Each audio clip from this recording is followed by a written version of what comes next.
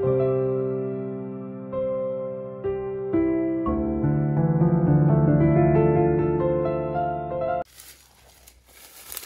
cái me. Con mới chặt đi để nó bật mầm lại.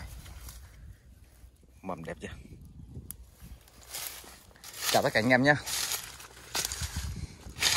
tiếp tục đi tìm cây. Này, mấy cái vườn kiểu nhỏ này rất nhiều gốc được bị chặt đi này. Chẳng biết cái gốc gì. Mấy cái vườn đá đá này mà có gốc gì nó đẹp lắm.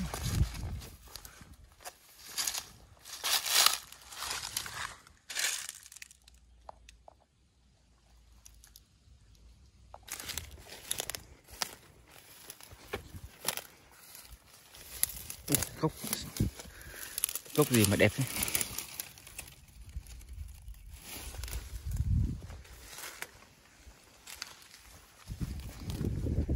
Rất nhiều cây dại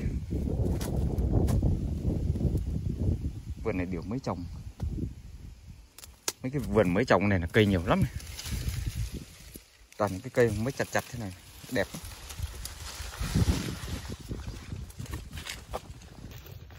đây gốc trời mồi đây là trời mồi nó tròn lúc này bị chặt, tan lát này đấy, rất nhiều anh em cứ hỏi tôi trời mòi thì tôi đã chia sẻ trong nhiều video rồi. Trời mòi thì nó có có một loại trời mòi trâu nhá. Là trời mòi to nhất và quả to nhất nhá. Tiếp tục là đến là trời mòi lá chung này. Và tiếp tục đến là con trời mòi xẻ lá tròn này. Và một loại tròi mòi nhỏ nhất là tròi mòi siêu trái Này. là lá nó rất nhỏ và cây nó cũng nhỏ và quả của nó thì sai lắm.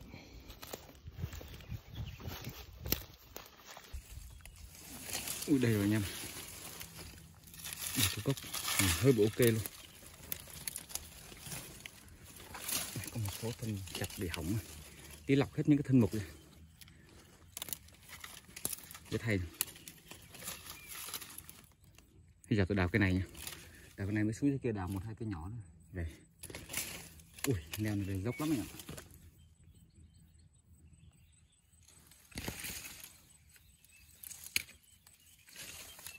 Máy đào cái cây này. Nắng. À. Trước hết là thu những cái này để làm mấy phân tử. Rất nhiều tử. Cái cắt lên đây cái nó tí lên. Nó cắt ngắn hơn. Nhìn, nhìn những cái cây cầu này nó đã lắm anh em ạ. Đào lên cắt lọc sướng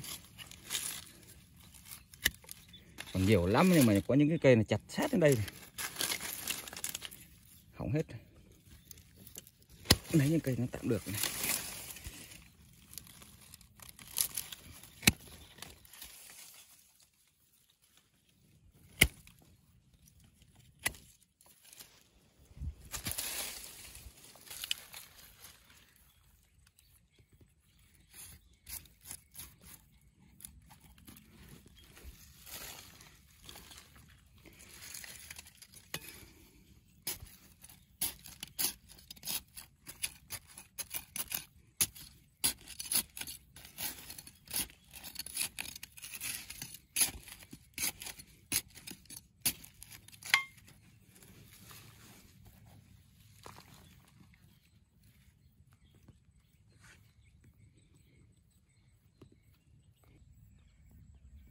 đây nè cây này.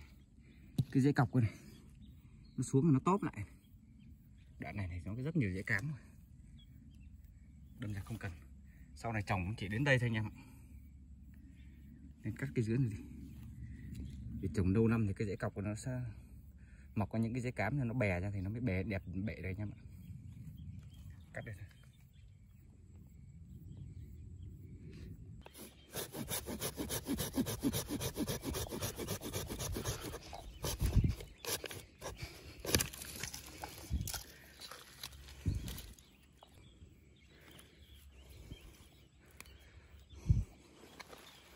rất ok nha.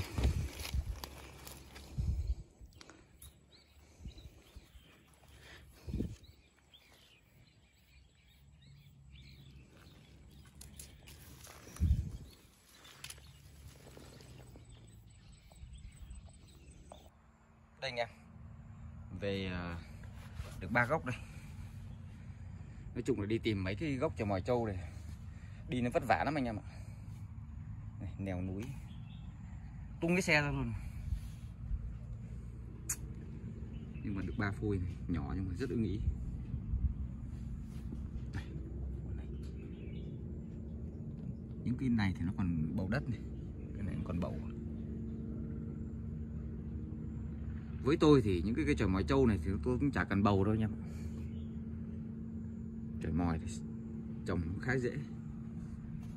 Cái này thu cái này lại dựng cái dáng lên, chơi lùn nực. Hơi bị tuyệt vời. Tay cành. Nó có những cái cành chốt này, lọc sơ sơ lúc này cũng vậy. Lúc này thì cành, tay cành khá tự nhiên loại này chơi đặc biệt là người ta rất ưa chuộng vì quả của nó là trời mòi thì dòng nào quả cũng đẹp hết. Nhưng mà cái dòng này thì nó to. Như bông độc vừng anh em ạ. Nếu mà mùa quả